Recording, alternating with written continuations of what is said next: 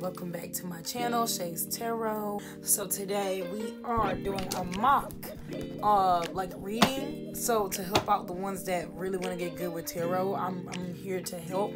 So we're gonna do some mock readings on some celebrities uh, and we're gonna do a business wise about them. We don't want to get too deep or personal uh, about what's going on in their personal lives. If you like to do that, you can do that on your own time, or you can just catch me on Twitch live every Saturday.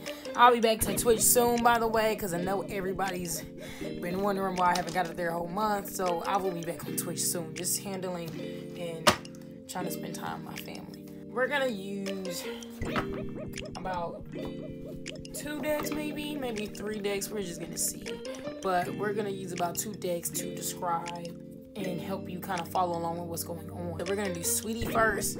Hopefully this will help like kind of to learn how to read tarot. And by the way, you can always do any type of spread you want. This spread I'm gonna do is usually typically the easiest. So yeah, you know, in a book form, but you'll see.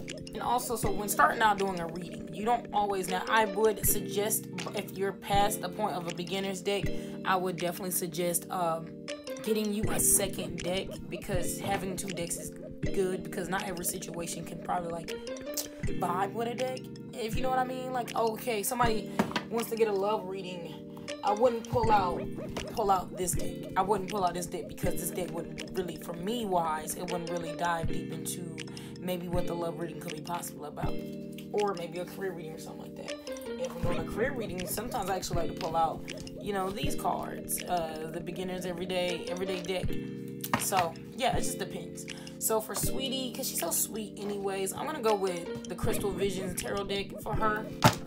So this is a mock reading on Sweetie, the rapper, business-wise. What's going on with Sweetie, the rapper, business-wise? So we got the Five of Wands. Now for me, I like to still pull out a few more cards before I start.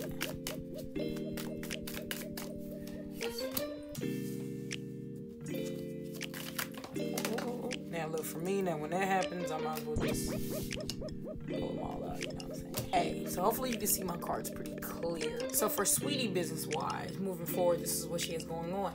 Now there's a lot now, it, you can read it however you would like to read it. Now remind you, your intuition and other things will kick in. And I'm going to teach you guys how to also use clarifiers for, you know, for a card that you may not be too sure about for Sweetie business wise, what's going on with her right now. We have a lot of collaborating. There is some moments of clashing that she has here, but there is moments of collaborating, um, trying to get things together. Really just trying to, and, and this could be really her molding and, and getting to her, you know, her element of not playing any games. So anybody want to play games, people might be in the midst of probably getting fired, being let go, being demoted, promoted. So I mean, five of wands to me does not always mean conflict. Wands is uh fire energy as well, so it could be a lot of passion. It could get irritating sometimes working with people for her, but it, it honestly, it's like I said, things are changing. She has the six of wands in reverse. Now as well, you don't have to read in reversal. Some people do, some people don't. I read in It works best for me. Um, so with the six, I mean with the seven of wands in reverse for Sweetie, still indicating to me business relationships are changing. How she moves is changing, and it might not. Uh, people might not agree with Sweetie right now what she's trying to do. People might be, like I said, once again, negotiations, business partnerships could be clashing here with Sweetie, but it's really all in the moment of trying to change everything around for herself and line everything up from what you see for Sweetie.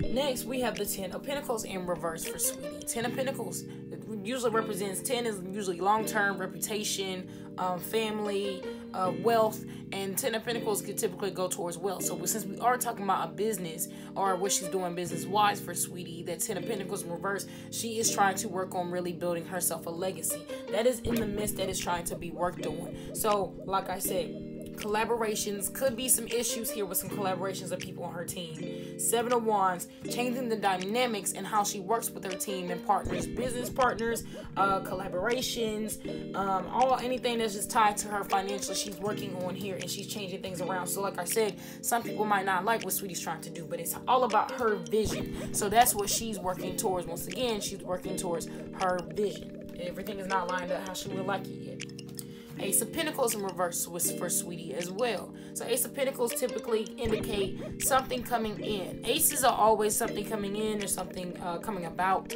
So Ace of Pentacles in reverse for her. She's trying to this idea she's trying to work on and bring her long term benefits. Um, this could be this her this could be her consuming this for a whole entire year. Ace usually I would say is one. So it's about her trying to build something, bring something to her, bring that abundance. She's really trying to work on that. Three of Wands, working towards her goals and her visions. Great day for sweetie. I love this. Um, really working towards her goals and her visions. Really um, trying to find so many ways. Three, when I see three sometimes as well, too. Three will typically, um, for me, mean external uh, or personal help or help from others uh, external or internal. For Sweetie, she's definitely doing a lot. She has help, but she's really trying to make sure she goes towards this vision. She really sees it opening up for her, and she's really working hard because she see a lot is coming true. She knows what's what path she would like to take. Five of Swords in reverse. Once again, Sweetie's walking away from a lot of stuff, thinking about a lot of things as well. Could be possibly putting in this the heartbreak that she probably had with Quavo, to be honest, and other heartbreaks that she had within romance, love affairs, or whatever else she has going on here. Um, she could be singing about this, rapping about this. Expect this to be put into her music. She's using this as her motivator that um, about her walking away. Remind you, this is in reverse. So yeah.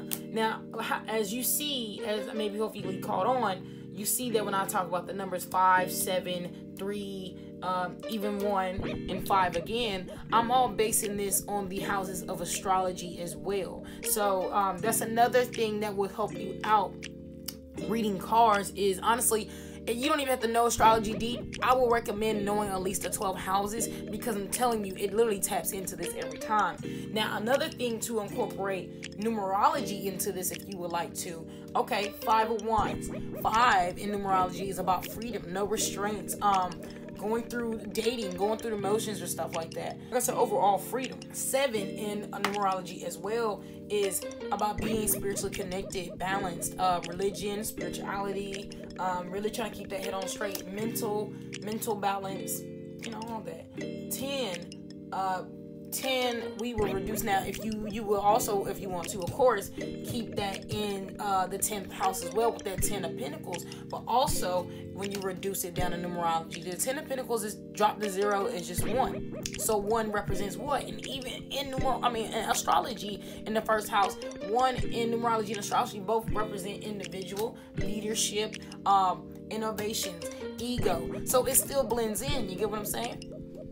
The three of wands now, threes can throw me off sometimes, but the good thing about it is is that threes in astrology, threes about communication, uh, I think, uh, if not mistaken, short trips, siblings, neighbors, uh, music, uh, exploration of creativity as well. I like to tap into this house because sometimes this house is uh, about creativity, musical healing, um, and uh, numerology. This is also the three is about uh, the number usually typically a luck, the horseshoe number. Um, you think about life path number threes like me. We typically have fun, try to be uh, the life of the party, try to put yourself out there when you can. Um, you know, moments like that. So that is what helps as well with implementing in this. So let's say for Sweetie, we just didn't understand this five of wands. And I would like to clarify even more on this too. Let's clarify on this five of wands. You asked the deck, let's clarify for Sweetie on this five of wands. What does this five of wands mean? Then we get the Eight of Pentacles. Now, I like to lay mine on top like that. That's just how I like to do it. You literally can put it to the side, whatever works for you. Eight of Pentacles in reverse, asking for a clarifier for that Five of Wands. Eight of Pentacles being that clarifier. Also, like I said, uh, astrology, numerology.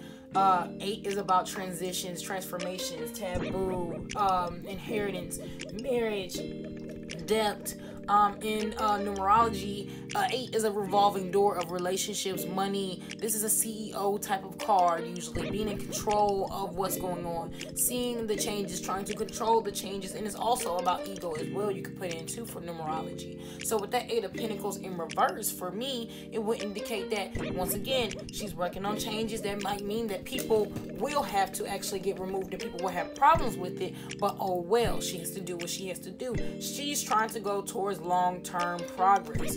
Also, looking at her reading, I like to sometimes I like to do this too. I like to tap into or see uh, which is the most dominant element. Doesn't matter if she is a water sign. Do you see any water in this though?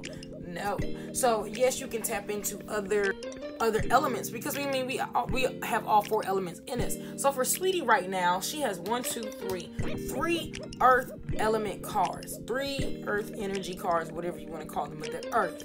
Um, she also has three wands. So three uh, elements of fire: Leo, Sagittarius, Aries. Earth signs for her: Taurus, um, Virgo, and Capricorn. So she's tapping into these elements really hard. But what's also she's tapping into some air energy as well. So that's Aquarius, Libra, and um, Gemini. So knowing this in the back of her mind or what's going on in her head Geminis, I like to always definitely think about Geminis and Virgos. They're both ruled by Mercury. So if you anytime you see an air sign in in, in a what you call not saying it's always that sign, but I like to typically think of Mercury because Mercury involves thinking and talking. So for her in reverse, I would indicate that she's not really saying anything. If she is, it's all being written down on paper. She's trying to get this off her mind in her songs. And and you can just keep it going like that. You see, I kind of read it in a story form. form. If y'all follow Blue Nola Tarot, I really kind of read actually like her. We're going to ask ourselves, okay, now let's switch a deck. Let's switch to here. Because I think, you know, some of y'all have the Rider Waite uh, deck. I don't. So let's see. What do we expect for Sweetie? To come out. Oh, okay, we already got something. Something flew. You know, cars will always fly. Ooh, King of Swords. What do we expect to see Sweetie put out?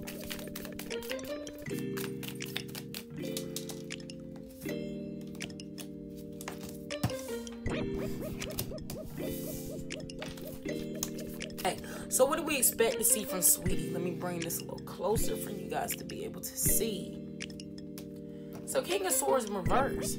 So, hmm, that's very interesting. We're going to clarify that later as well. King of Swords typically indicate a man that says things maybe that he shouldn't say, a man not acting like a king or holding his word. So could we possibly expect Sweetie to talk about maybe not not too detailed, but maybe um, indicate or um, hint and in her music that's coming out that she will be like i said discussing about maybe some words that were said to her maybe some things that had hurt her um the sun card next. Once again coming to light. Swords is air energy so remember that somebody's either thinking or talking or maybe this is what. So since we asked what she has coming up next and knowing that she's clearly not a man so we know that maybe she could be talking about something that pertains to a man that will be coming up next. Um the sun card after this. So the sun card after this and then the sun card? Okay so you would think something's coming to light. The sun always brings things to light. So something will be coming to light she will bring her creativity will we will see so much of it. Shine it's ridiculous. Like forget the magazines. Her creativity she's gonna be birthing a lot of things. Like it's, it's gonna be crazy. Six of wands in reverse. So we still see sweetie hustling working trying to find her consistency trying to really find her footing. Because i mean if you really think about it sweetie is still trying to she's trying to replace herself in the industry and the light that she came in and be taken more seriously. She really means that. So that six of wands in reverse, she's really trying to bust through that, and there, there might be some, you know, difficulties and obstacles for her. It seems here for her to be consistent. So, um, she's just trying to make sure she takes her time for the energy I get. And also that's what um reading cards as well too.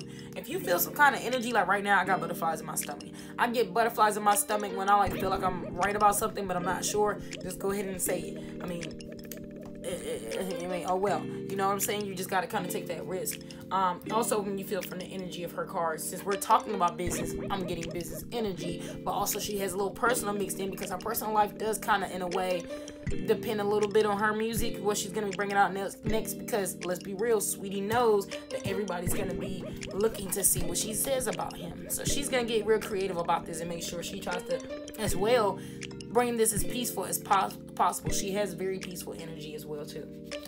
Are working and peaceful. So with her trying to be consistent, and then wands right there. So that's fire energy. Fire energy in reverse, not always typically bad. She's just working on it right now. Ace of Swords. So what I tell you about those aces, an idea, an idea, an idea, creativity, something coming in. That light bulb is turning on for Sweetie. Sweetie will be bringing things out. Expect for her to be bringing a song. Page of Wands in reverse. So she's still having issues on how she's gonna probably roll this out. So don't be confused about this. But she's definitely trying to mature upon getting into her queen element like she really would like. You know what I'm saying? And we'll clarify the King of Swords and the Page of Wands because, you know, I still want to get more into that and get more detail on that. Three of Wands again for Sweetie. Sweetie will still be bringing things out. She's really trying to make choices well. You know, she's really um, in her thoughts, but in, in a way where she's really thinking ahead of what what's to come and how she's really I mean the woman is really trying to figure out how to bring things in for herself. Wands, like I said, passion. She really wants to bring that passion to light. So let's clarify that King of Swords for Sweetie bringing things out to the public. What is this King of Swords here for? What is this King of Swords here for?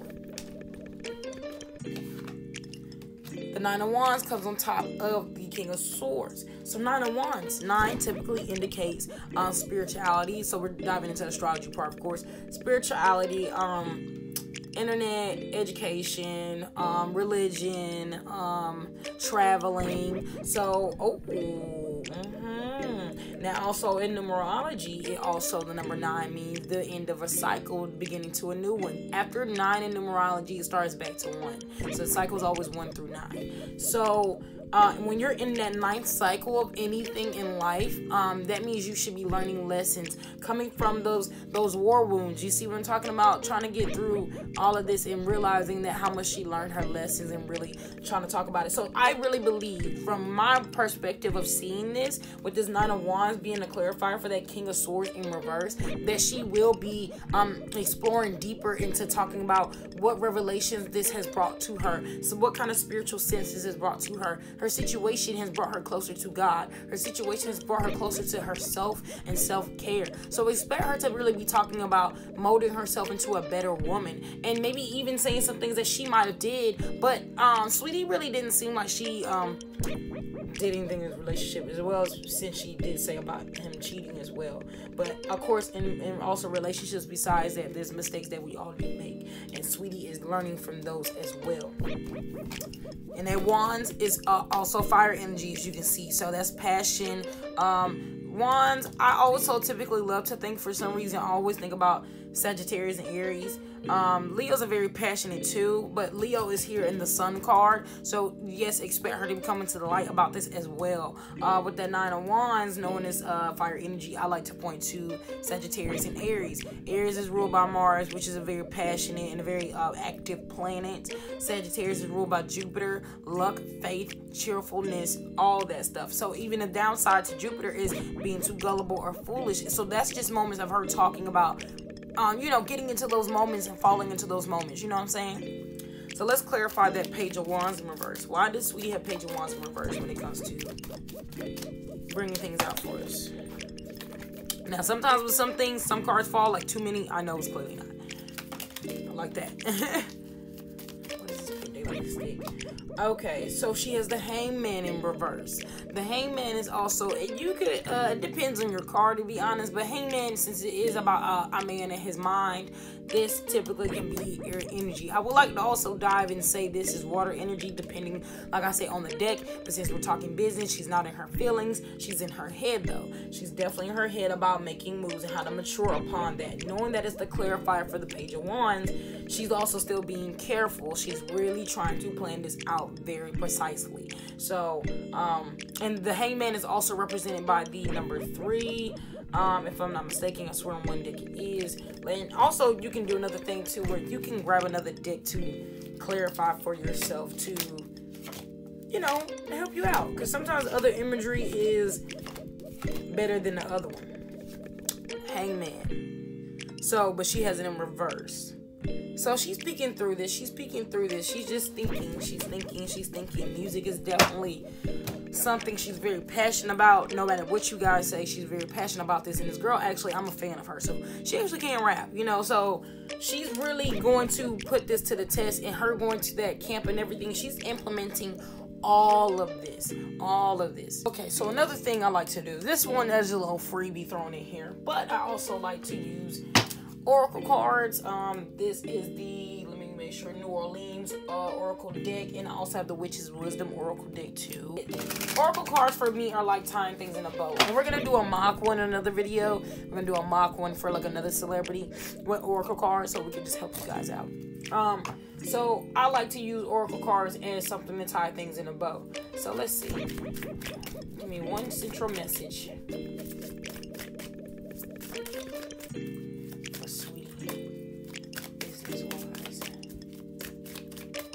You don't always have to do one message. I like to. Um, sometimes I like to do, uh, you know, two as well.